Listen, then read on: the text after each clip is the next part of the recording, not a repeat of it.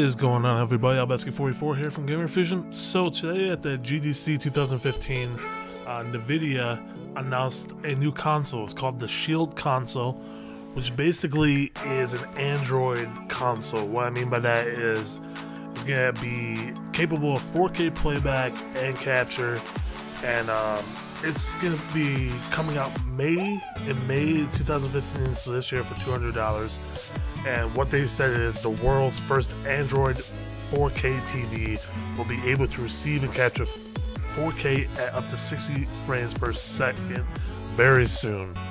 Um, they have what they're gonna do with this is the Nvidia Shield can run both local and stream games. VIA is Nvidia Grid subscription based uh, streaming service, so that's kind of like PlayStation Now or kind of like a Steam type thing. Uh, it's going to launch more than 50 games on the Grid store. Uh, here's a picture right here of kind of what the layout's going to look like. It's kind of like PlayStation and Xbox combined in a way, the way they're doing this. Um, I don't know how I really feel about that. There's a picture of the controller there too.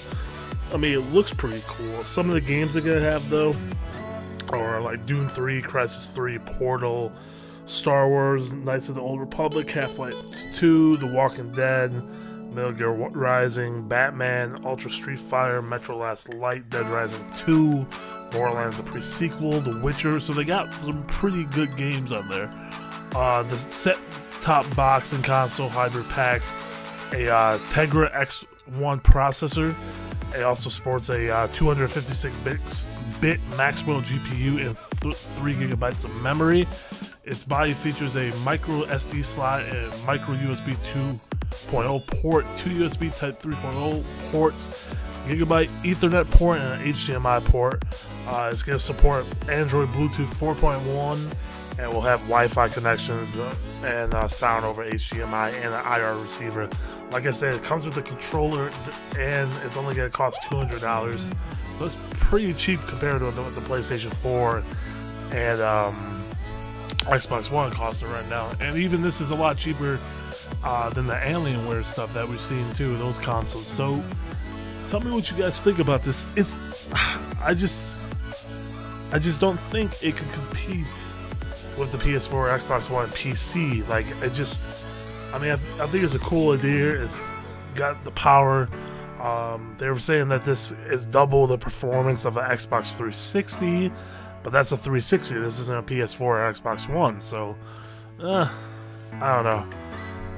I don't know. It looks cool though. That's the one thing I'm gonna get out of this right now.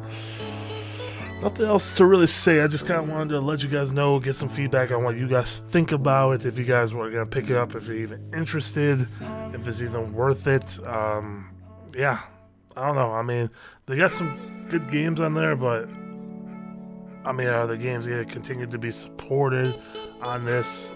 I don't know. I really don't know. This is this gonna be another Ouya?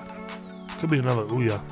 But yeah, that's it for this video, guys. Just kind of wanted to let you guys know about. Like the video, leave a comment. Please comment this one. Of want to get you guys' opinion on this. And as always, subscribe. Leave a like too. Gamerfuzion and Policy Gaming. Thanks, guys.